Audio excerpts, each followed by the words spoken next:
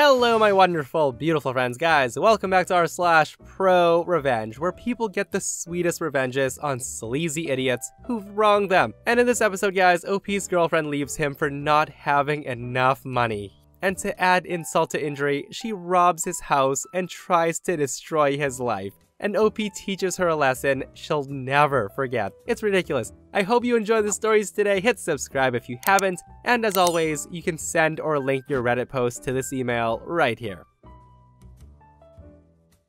So I'm a dry liner, a guy who creates walls and rooms and buildings by trade, which means I do a lot of moving around for my trade as most of the work I do is towards the end of the project. This means that I spend a lot of my time renting flats and houses for only short periods, usually about 6 months at a time. This has meant that I've had to deal with a lot of landlords over the years, both good and bad. When it comes to the bad landlords, I'll just normally walk away and get on with moving to the next job and just take the loss of my deposits and never use them again.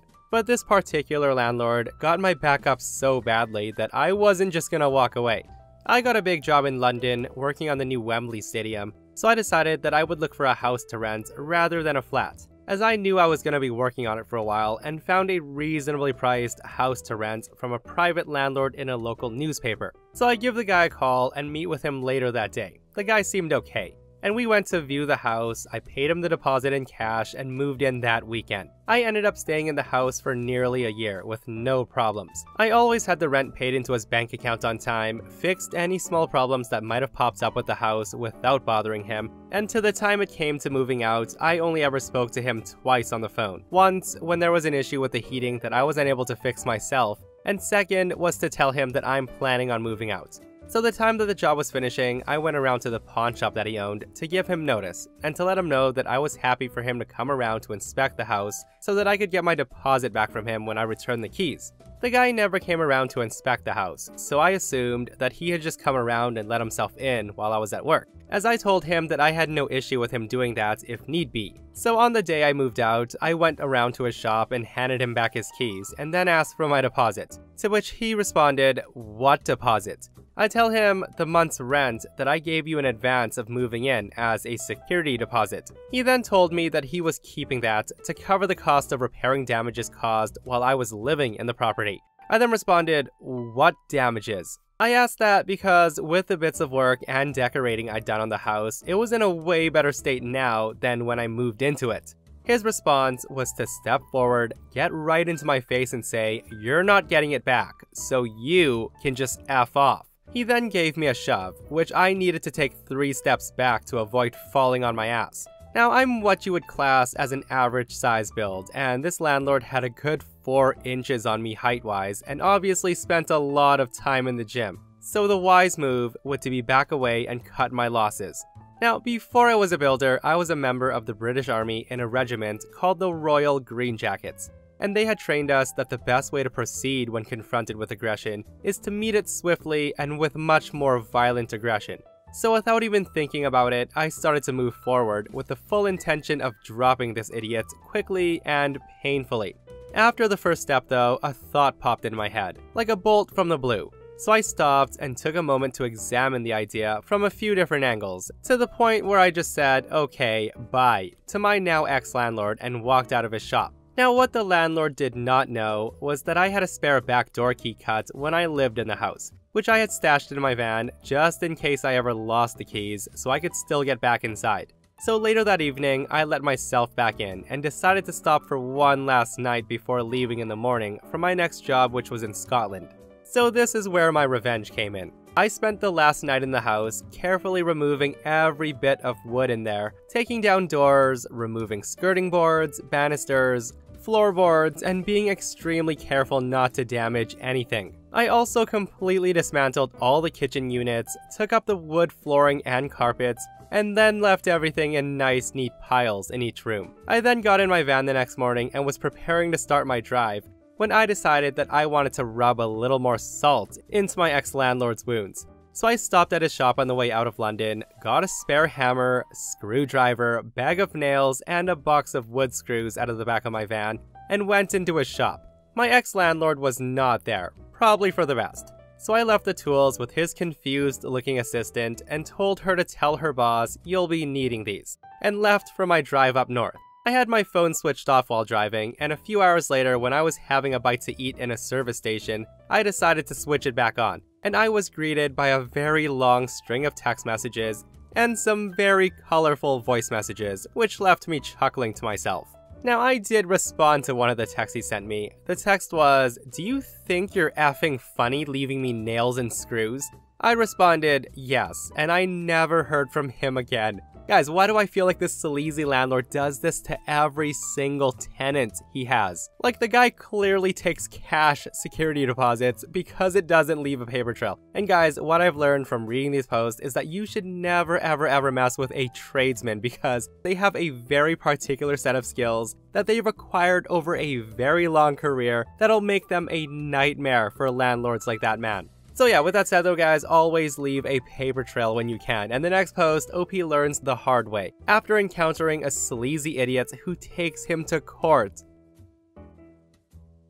Okay, so just a little bit of information before I get into the story. I'm a 22 year old male, and I work construction as a foreman and I run a few crews. For my job, I need a truck that can pull a lot of trailers, and I also get into a lot of sketchy job sites, especially in the winter. So I drive a new lifted pickup truck, an F350. Anyways, so about 4 months ago, I got off work one day and really didn't feel like making dinner. So I decided to get myself the trusty Big Mac at McDonald's. Well, after I get my order, I was gonna pull out into the parking lot to drive home, and I was looking over to my left to see how busy the road was. Well, I wasn't paying great attention to what was happening in front of me, and as I was creeping forward, someone who was in front of me was stopped and also not paying attention, and I ended up barely hitting his mirror and scraping his door with my front end. So with that, I immediately reversed and hopped out, and I made sure the guy was okay, and then apologized knowing that it was fully my fault, and then asked him if he wanted to call the cops and swap insurance. So let's call the guy Brent. Brent says to me, nah bro, we're all good. If you just give me your insurance information, I think we can get this taken care of. Hearing him say that, I was fine because there wasn't damage done to my truck and it's not required to call the cops for an accident if it occurs in a private parking lot with minimum damage. This is relevant later. So we exchanged information and he seems pretty cool, so I tell him to go get the damage bid, to contact me, and I'll just pay in cash. So my insurance rates don't go up, as long as he's okay with it. He tells me that's fine, and we both just leave and I feel like a moron, but all in all, Brent seems like a nice, cool dude, and I hope we can get it all sorted out smoothly. About a month passes by, and I haven't heard anything from Brent or the shop I told him to go to. And honestly, I wasn't too stressed about this because if he decided to not get it done, that's on him. Well, he calls me up one day and he sends me the bid for damages and it comes out to $2,403. Now this was much more than I imagined, but I said to get it done and I would take care of the bill afterward and that was that. He then hung up after saying it was cool and I went on with my day as usual. Another month goes by and I don't hear anything until Brent calls me up while I'm at work and says, Hey brother, so I talked to the shop and they said they can't get me in for another two weeks. And they may end up charging me more if they find any more damage. I say to him, okay, sounds good, just let me know man. I hope it goes smooth for you and I'm sorry for the inconvenience. He seems to take it good, and I'm really trying to just be a good person. And that's when he responds with, well, after talking to my wife, I'm okay if you just want to write a check for me for $2,500, and we can call it even. Now, this does seem odd to me because why the heck wouldn't someone want their vehicle repairs all paid for? I tell him, okay man, let's just set up a time and place to meet and I'll get you paid. The guy liked the idea and ended the call by telling me that he would let me know. And another month passes by. I hear nothing again. And at this point, I'm just getting fed up. I just want this situation to stop being over my head. He calls me up at around midnight one night and he asks if we can meet in town. I found this kind of disrespectful because I was nearly asleep and had to be at work at 5am the next day, but either way, I said it was fine. The next day, I took my $2,500 cash, wrote up a quick contract saying that this payment would be accepted as payment in full for damages, and by accepting it, it would release me from any and all liability. Now this was a pretty fair contract because it was the deal we'd already made over the phone, just in writing. So I get to the place we suggested as a meetup spot, gave him the cash, and he signs the contract without even reading it. and the guy didn't even want a copy. This was a red flag to me, but I just assumed the guy really didn't care about it that much, so I just sent him the photo of the contract.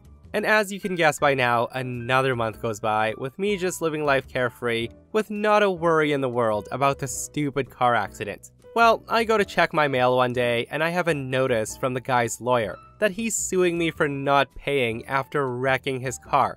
This pissed me off, but I also knew that I had plenty of text messages and a contract on my side. I immediately call Brent and he blocks my number. Luckily enough, my girlfriend works for a lawyer, so I get him updated and he said he would love to help. He lets me know that I saved my ass by writing that contract, as any contract worth over $500 is to be held up in any level court in my state. And this is when I get to work on my revenge. I remember on the side of the guy's car, he had a business logo, and I took pictures of the damage, so I hop online and did some googling, and it turns out that he owns this company. I can also see that he has about 12 one-star reviews, all in dispute because of his shady business practices, telling people that it'll cost one thing and then charging them four times what he said it would. Sound familiar? So remember when he said that the shop may charge more than the original $2,403? That's right, he was suing me for $10,000 four times what the shop told him it would cost. The guy was trying some sneaky crap on me. My lawyer takes note of this, and we show up to court ready for war. Now the guy's sleazy. As soon as we get there, he sees me and says, Are you ready to give me more of daddy's money? With a smirk. His lawyer then gets up and starts trying to say BS, from me hitting and running, and Brent barely got a picture of my license plate, to I tried to bully him into taking a deal for 2500 when the damage was clearly $10,000. There were obvious holes in his story, and he really didn't have much to say. Just imagine the smile on my face as my lawyer lays out the printouts of our text messages and the physical copy of the contract, which was signed by Brent. His lawyer went ghostly white and he looked sick. And that was the final nail in the coffin, as the judge said he'd seen enough. He then asked Brent for any final statements, and Brent said, I don't even have the 2,500 anymore. Can I just get that then and we'll be okay? The guy literally admitted to the judge that he received my money and that his story was just a load of horse crap. I thought his lawyer was going to strangle him. It was beautiful. The judge ended up ruling in my favor and demanded him pay all my legal fees as well as damages and lost wages because I had to miss work to be in court. Now the absolute sweetest part is that this particular day, my crew was on a very high wage job and I was technically the one getting paid before I paid them out as subcontractors. This means that I was to be paid $475 an hour and this whole ordeal took about 5 hours, so he ended up having to pay me almost $5,000. I don't think I've ever been so happy in my life. Yeah, I love how this backfired so hard on Brent, guys. Like, this is exactly what you get for trying to be a sleazeball. Not to mention the guy's a total idiot for forgetting that OP took a picture of the contract he signed. Like, guys, I don't know what it's like being a lawyer, but I can only imagine the amount of head shaking I'd be doing if I was defending someone and then all of a sudden the opposing party is like, well, you know what? We have proof that your client paid. Like, he signed this paper document saying that he received the money already. Like, I think I would just walk out of court at that point. Alright, so seven years ago, I dated a girl for about four years. Let's call her Brandy. She was very awesome, and I loved her very dearly. As far as I knew, we were awesome together and great friends as well as lovers. We rarely ever fought, got along great, and we got engaged and had plans to get married. As far as I knew, everything was perfect. I spoiled her too, and maybe that was my biggest fault. I always let her go shopping whenever she wanted, wherever she wanted, and I kept her fed from a golden spoon and wrapped her in the finest linens. Even if she didn't ask, I typically enjoyed spoiling her. That's just how I am. She then got a part-time job paying $10 an hour, and I subsequently got her a new cell phone line for her as a work line, as a celebratory gesture because she had been wanting a new phone and wasn't due for an upgrade. She said she would pay the balance on the old phone with her first paycheck. And then one autumn day, our car got repoed, and she called the bank. The bank said I was three months behind on my payments, and I knew that wasn't right. And that's when she told me it wasn't working out. She said she was tired of being broke and struggling financially. She said she wanted something better out of life than being broke all the time. But the interesting thing to note here is that she hasn't worked in a couple of years, and she had just been living off my paycheck. I'm a network engineer. I live comfortably in a fairly nice house with a lot of the latest toys and gadgets, and everything but my newest car is paid for. I would hardly call that struggling, but apparently that wasn't good enough for her. So she left after my car got repoed. I was upset about it too, and I went to my mother's house one day while she packed her stuff. While I was at my mom's, I paid the repo fees and the past due balance for the amount that the bank told me was owed. It turns out the balance was for a different account and the bank had repoed the wrong vehicle and had given me the wrong account number to pay, so I paid someone else's account. They fixed it, applied the balance to my account, and promptly gave me my car back. I came back that evening with some friends, and she had taken everything from my house. She took all of the furniture except for a couch and my bed and my kids' beds. She took all my collectibles, all the decorations, food, basically everything that wasn't nailed down she took. Also, when she left, she took her two cell phones I'd been paying for on a payment plan, so I still had to deal with my cell phone bill being $300 a month for three phones, when I only use one of them. I also still owe $1,200 for those two phones. And then there was a matter of a $2,000 loan she had taken out with my mom, that she agreed in writing to pay back. I sent her an email a few days later, asking for all my stuff back and for the money she owed, and she responded that I was harassing her, and if I ever contacted her again, she would call the cops, and then she threatened bodily harm from her stepdad. So with that, I suspend her lines and didn't say anything. She then called me from a borrowed phone the next day to ask me if I was gonna tell her before I turned the phone off. I told her I felt like I didn't need to since they were my phones and the account was in my name. Since then, she's tried to have my electricity turned off, which didn't happen because they called me to confirm. She's also tried to sell my car without having it in her possession, which failed. She's also tried to call police on me for harassment, dumped trash in my yard and called the HOA, and she's broken into my house multiple times and left things and taken other things. I have since changed the locks and set up security cameras. I had enough of that stuff, so here's where my revenge comes in. I took her to small claims court for $9,500 for property stolen and damages and all the money she owed me, and I won. I also got a promotion at my job since she left, was recently given a raise and a big fat bonus, and I just got a $1,000 voucher from Delta since they screwed up my flights, and things are better than they had been before she left. Tenfold.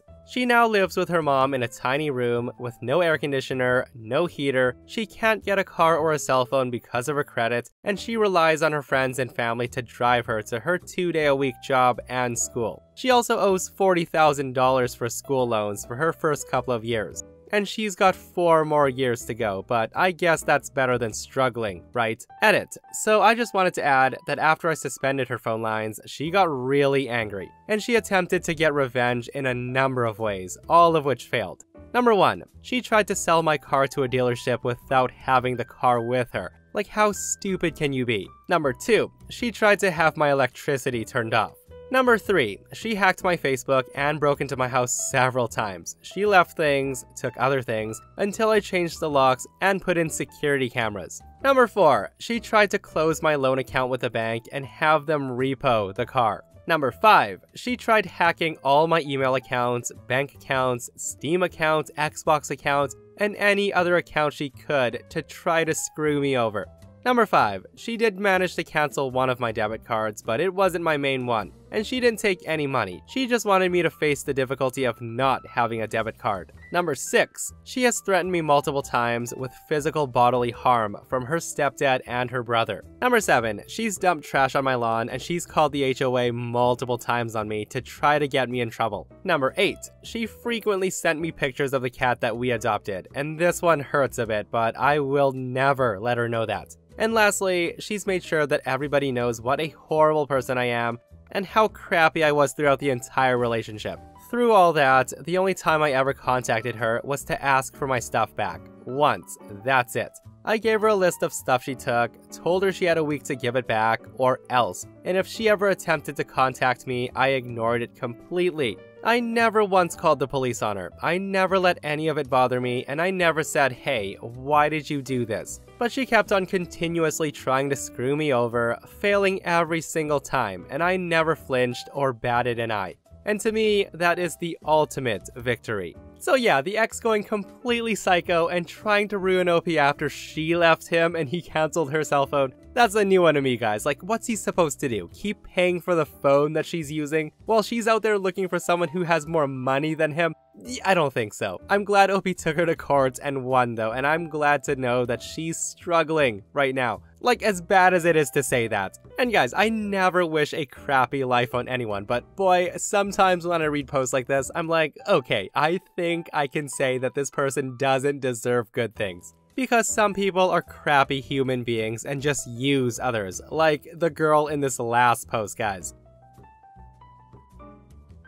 Okay, so I met this girl who was 22 years old at the time, while I was a 30 year old at the time. I was working in a national park, and she was a housekeeper on a work visa. We instantly hit it off, and within a month, we were in a relationship. We even had a solid long distance arrangement where we would visit each other. I would spend a few months in Romania or meet her at some vacation destination, and she would spend a few months in the States. This went on for about two years, and eventually the conversation came up with her family about the possibility of her moving to the States permanently, as political and economic corruption makes life pretty unpleasant for a lot of people. Her marrying and moving to the US meant that her mom wouldn't have to worry about her daughter having a good life. So I arranged for sponsorship and proposed to her, and it seemed like my dreams were coming true. And then, about a month after she settled in, I get a message from her best friend back home. What followed were a year's worth of screenshots where she bragged about conning me into paying for her residency while she cheated on me with eight different men. In her friend's words, she said, You're a good man and you don't deserve this. So, over the following two weeks, I reported her to ICE and Homeland Security for a conversation her brother and I had over a bottle at one point. He bragged about how he'd done time in prison for smuggling weapons to a Turkish terrorist, and how she had been his lookout on several occasions. And as you might imagine, in the War on Terror days, this was not taken lightly. She was immediately arrested and deported, and she was put on a permanent no-entry terror watch list. If you want to take advantage of me and cheat, have fun never being able to come to the States. So yeah, I'm not gonna say I didn't see that coming, guys. Like, not the deportation part, but the part where the girl used him to get to the US. Like, I've seen some clips of like 90 Day Fiance, okay, where the guy clearly is way more interested in the girl than she is of him, and I feel like this might have been one of those scenarios. Like, did she deserve ICE getting called on her and getting deported for cheating on him with eight guys? Maybe, but did OP also deserve it for being a little bit naive? Also, maybe. Guys, let me know your thoughts. And that, my friends, brings us to another end of our slash pro revenge. Guys, I hope you enjoyed today's super satisfying stories. If you did, hit that thumbs up, and if you're not subscribed, consider subscribing so you don't miss these crazy stories. And if you missed the last episode on the channel, it's an r slash entitled people, where OP psycho Karen mother-in-law cuts off her hair in front of her family because she doesn't like the way it looks. Ain't that a B? If you haven't heard it, go check it out, and myself and Stevie Boy will see you guys in the next one. We love you.